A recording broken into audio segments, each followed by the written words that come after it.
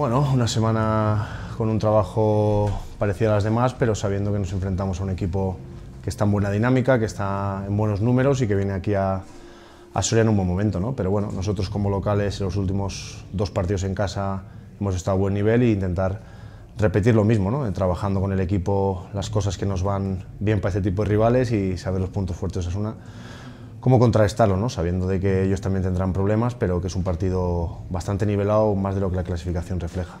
Pero un partido abierto, con fases para los dos equipos, fases en el que Osasuna pueda tener algo de control, fases que nosotros tengamos el control del partido con balón, y luego hay que, hay que medir bien los detalles. ¿no? Al final es un equipo que en las transiciones es muy peligroso, de los más peligrosos de la liga, aparte están con confianza en el que lo que Yagoba les dice, creen en ello y lo hacen y lo llevan a cabo a la perfección y nosotros tenemos que ser fieles a lo que somos. ¿no? En casa somos equipo casi siempre dominador, sabemos llevar bien el tiempo del partido, pero tenemos que cuidar los detalles si cabe un poco más porque esta gente tiene gente de mucho nivel, sobre todo la parte de arriba, que, que al mínimo detalle te designa el partido.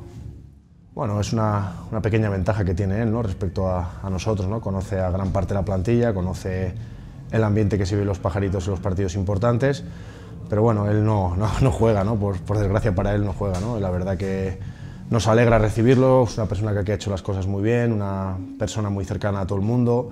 Yo personalmente le tengo gran aprecio y gran estima, tanto lo personal como entrenador. Y bueno, una vez todo el recibimiento inicial, todos los abrazos y demás, luego ya a defender cada uno sus intereses y a intentar que, bueno, que ese día Yagoba pues se vaya triste a su casa.